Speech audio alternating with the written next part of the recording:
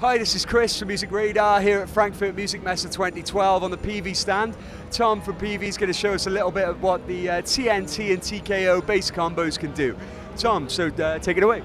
Yeah, well basically the new TNT and TKO uh, bass combos, um, sometimes bass you just need a big box to move the air to get that big fat bass sound and both of these have that at 600 and 400 watts respectively so they're loud, we've got plenty of volume. One of the really cool thing about them is they use Class D power, so it's very lightweight.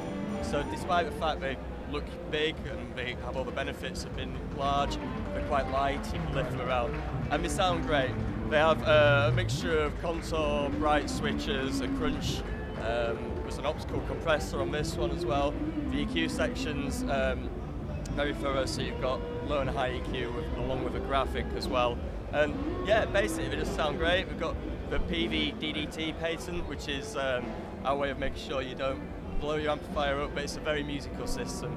Um, and yeah, we'll play one and let's have a listen. Cool, yep, let's hear it.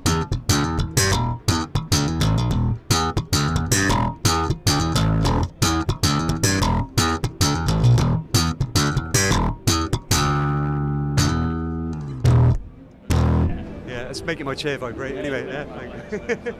Thanks, man. Okay. This is Chris uh, from Music Radar at Frankfurt Musikmesse 2012.